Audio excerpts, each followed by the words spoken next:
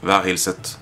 Velkommen til Brettspill med Takas, hvor Takas viser deg et brettspill eller kortspill, forteller om det, og om det er interessant eller ikke. Ganske logisk, med andre ord. Har du et surstoff for delitium?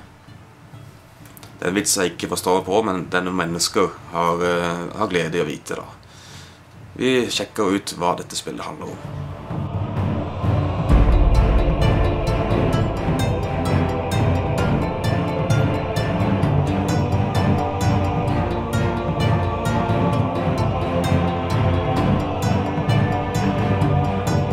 Forrige episoden så tok jeg for meg Setters of Catan. Helt uh, vanilla, altså ingen utvidelse eller noen ting. Og det originale spillet. Her har jeg da på temaet Star Trek. Bare for å gjøre det litt mer interessant for de som liker Star Trek, og for å, å prøve å selge spillet til så mange som mulig, selvfølgelig. Men det er også en fin anledning for å, å tilby et godt spill for de som ikke kjenner til brettspillverdenen så mye. Og så ser de på hylla, og, så, og Star Trek, det ser gøy ut sjekke ut det og spille det, så å ja, det er egentlig ganske bra spill. Det er, så det, det, er en fin måte å, å, å, appellere til et større publikum. Men Star Trek da, det er jo ikke så stort i Norge, er det vel? Nei, ikke så veldig. Men det er, en, det er likevel en god ting med spillet her som gjør at jeg foretrekker dette overfor vanlig Setters of Katan. Nå snakker jeg ikke bare om temaet, men jeg snakker faktisk om spillets eh, mekanismer i, i, sin helhet. da.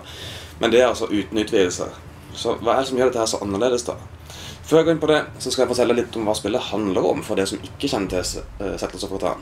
Altså, Catan er jo en øy som de har lagd i, i det originale Settlers-spillet.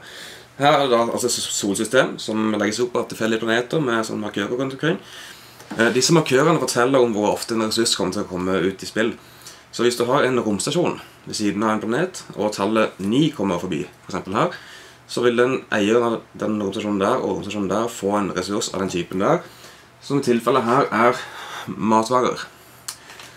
Det vanlige spillet har da ved og ull og uh, sauer og malm og leire.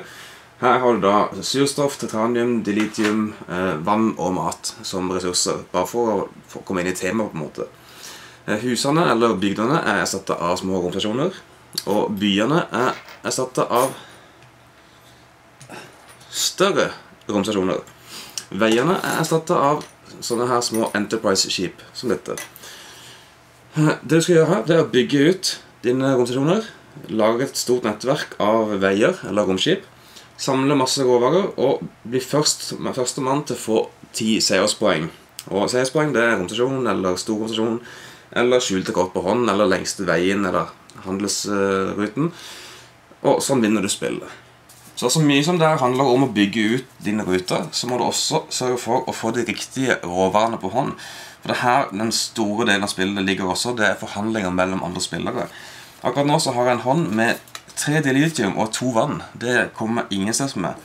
For den, den handouten her viser hva jeg trenger å gjøre for å kjøpe en ny eh, vei og en ny opsjon og større opsjon eller et utviklingskort. Eh, så for å klare det da, så må jeg enten ha riktige stasjoner til de riktige planetene, og ikke minst at det riktige terningkastet må komme fram. Sånn at jeg får ressursene jeg trenger. Men hvis ikke jeg kan det, så kan jeg spørre alle spillere. Ja vel, jeg har to dilitium. Er det noen som har en uh, titanium å bytte med mot den? Eller du kan godt få en vann istedenfor hvis det er bedre. Altså, du kan forhandle litt fram og tilbake, og på den måten skaffe det du trenger for å etter hvert oppgradere dine veier, oppgradere byene, og få mest ressurser og mest poeng til slutt. Sånn funker vanlig Katan. Og I tillegg så har du da en Klingon Vessel her, som da fungerer som tyvene i originalen. Det de gjør, det er å legge seg oppå planetene og bare kapre alle ressursene som kommer fra den planeten, og gjøre det og stjele i tillegg fra de spillene som er i nærheten. Så kjernen i Star Trek Katan den er det samme som i originalspillet. Men de har gjort en del endringer som gjør at spillet får kortere spilletid, noe jeg syns er meget bra. For det originale Settlers kan ta litt lang tid, særlig hvis du har spillere som tenker litt for mye og legger altfor stor vekt inn i poengoptimalisering. Det de har lagt til, det er sånne rollekort som dette her, Hura og Hikaru Zulu, og andre kort, som Kirk og Spock, selvfølgelig. Men hva de gjør, det er det som gjør spillet så unikt fra de andre spillerne. Du har alltid én karakter med deg gjennom hele spillet, og du bytter det ut etter hvert som du bruker dem. Du har f.eks. Uhura. Hun kan gjøre at du kan tvinge fram en handel. Altså, Du vet at en annen spiller sitter med en ressurs. ok? Jeg tvinger deg til å bytte det vannet med din delitium. Sånn er det. Så har du Paul Tsjekhov. han kan, hva han kan gjøre Han kan flytte Klingon-skipet til en, tilbake til der det kommer ifra, og få den ressursen der det sto.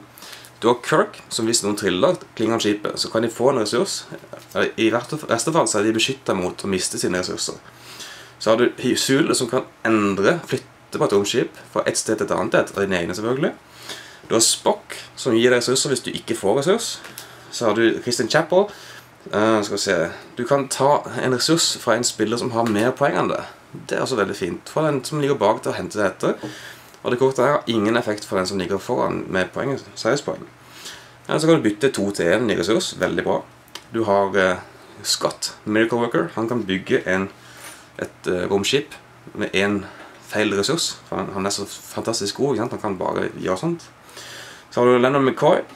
Eh, han kan da, når du skal bygge, kjøpe et utviklingskort, erstatte ett av kortene. Akkurat som McCoy akkurat som Scott, som eh, gjør det med skip. Har du på et kort istedenfor. Og så har du Sarek. Han har ikke brukt så mye, egentlig. Han kan returnere et av disse her Star Trek Intervenes. Det er da ridderkort fra tidligere. Uh, for å bytte det mot råvarer.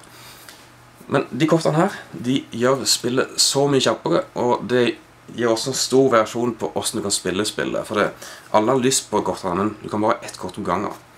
Etter du har brukt et kort én og to ganger, så går du tilbake til de andre kortene, og så kan du velge et nytt et. Men ikke noe som de andre har. Du kan ikke ta vare på et kort og så bytte det ut når du føler for det. Nei, du må bruke egenskapene som står på det for å få lov til det. Og den lille, lille tvisten der den gjør at et spill her får en mye større tempo, og du tvinger fram handel, du tvinger fram at ressursene kommer fortere i spill, og du får rett og slett fortere tilgang til slutten av spillet. Altså, ikke misforstå meg feil nå. altså Eh, spillet er gøy, men det er ikke tre timers gøy. Det er halvannen times kø som det egentlig skal spilles på. Og det, det, gjør det med de kortene her. Da klarer du å spille det på den tida det, det, bør spilles på. Ellers så er spillet helt likt som originalen. Det er bare nye figurer som er veldig kule. Veldig merkelig måte å innføre tema på med disse romskipene som flyr fram og tilbake. Og ikke minst at eh, ja, den ene grunnen her så jobber Serek for meg, men neste grunn jobber for det. Eh, Montgomery Scott han flytter fra skip til skip, han også. Og så har du Spock. Han, han og Kirk jobber mot hverandre plutselig, fordi sånn er det bare. Og så sånne her uh, Enterprises som kjører mellom disse stasjonene for på en måte å forhandle. Litt merkelig lagt inn tema, men det er jo på en måte greit nok. Men jeg syns det her er spesielt merkelig. Men se bort ifra det, så er det her et, en veldig fin, uh, fin videreadaptasjon av, uh, av Catan. Og så I tillegg så får du med sånne fantastiske holdere for kortene. Og det, det, ser rett og slett litt pent ut. Men samtidig så ser det litt rotete ut, spør du meg. da. Sånn er det. Men vent, det er mer.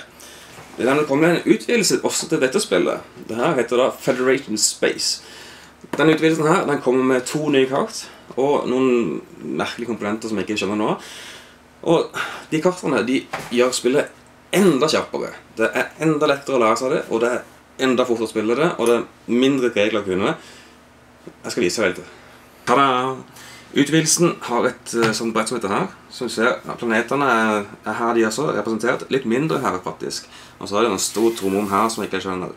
Men det som er clouet, er at de kartene her de finner du i originalfilmerne originalfilmene av, serien.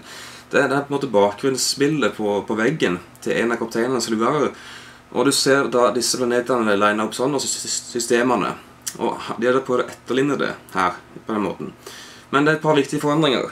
Istedenfor å bygge en romstasjon for å få lov til å handle her, så trenger du å ha et handelsskip sånn, og forhandle der. Mye mer tilgjengelig og lettere å forklare også. I tillegg så har du sånn punkter her som viser at her har du lov til å bygge stasjon. Ikke der, ikke der, ikke der, ikke der, men der.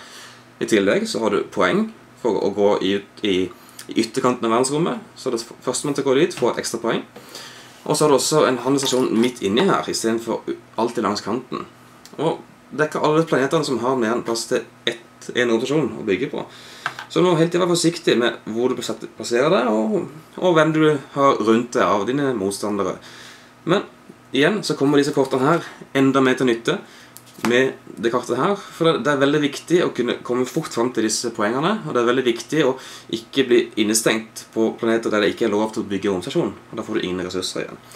I tillegg, hvis du er virkelig virkelig Star så kan du lese i manualen til disse planetene. Og få se hvilken episode de var nevnt i, eller som det handla om. Og så, ja, skikkelig geek nice. Det er ett kart. Så har du et, et annet kart som har akkurat det samme grunnelementet med at du har eh, ferdig definerte områder for å bygge en organisasjon. Og akkurat det samme med poengene og, og klingene kommer fra Kronos her borte. Så dette er litt mindre kart igjen. eh, Med enda større tomrom her. Skikkelig sløse med andre ord. Og så er det rart jeg ikke brukte to sider av brettet. Når vi først hadde det. Men, men. Jeg liker den utvidelsen her veldig godt. Det er kjempekjapt å sette seg inn i spillet, særlig med nye spillere. Og spillet er mye kjappere å komme gjennom. For planetene er allerede fordelt med de riktige ressursene og riktig fordeling av, eh, av disse poengene eller tallene som kommer fram. Og ja, du får rett og slett en, en kjapp og en gøy opplevelse av Star Trek Katan, eller Settlers of Katan. Så meget bra for den her også hvis du er ny i spillet eller har lyst til å introdusere nye spillere for Settlers. Så er dette her meget bra. Men fortvil ikke. For det, disse karakterene som er nevnt her nå, de, de er riktignok i Star Trek-kratan-universet. Men jeg har også sett at Mayfair, altså de som har lagd spillet, de kommer ut med karakterer også for originalspillet. Så du kan ta Istedenfor å ha Spock, så kanskje Candamere, som han heter. Som da vil ha den samme egenskapen, eller tilsvarende egenskap, som gjør at spillet har bedre flyt i seg. Og litt mer ja, fortgang i det. Men per i dag, Star Trek Katan er et bedre spill, etter min mening, enn bare originale uh, Setters Katan. Men Katan har jo ikke da utvidet seg for fire-fem spillere ennå. Og det er veldig ferskt, særlig i Norge. Men for meg som liker Stabæk, og som liker at uh, dette spillet har en kortere levetid enn det det, det vanligvis har, så er dette her mye bedre å få tak i seg. Selv om du Vann, delithium, food, titanium og surstoff Det har ingen sammenheng og ingen logisk oppbygging i spillet her, men det er bare å se på faget. ok, Hvit planet, hvit ressurs. Rød planet, rød ressurs. Nei, en liten sånn Temaet i seg sjøl er ikke det beste i det spillet. det må jeg si. Jeg liker at det er Star Trek, men det henger ikke godt sammen sånn sett. Så se bort ifra det, så er dette et gøy spill. Og man, veldig kule figurer, ingen tvil. Så det er iallfall Star Trek Katan. Så jeg håper du har setter pris på det her. Og når du lever lenge og vel, og alt det der, så ses vi kanskje i neste episode, som blir episode 130, om jeg ikke tar feil. Lev lenge og.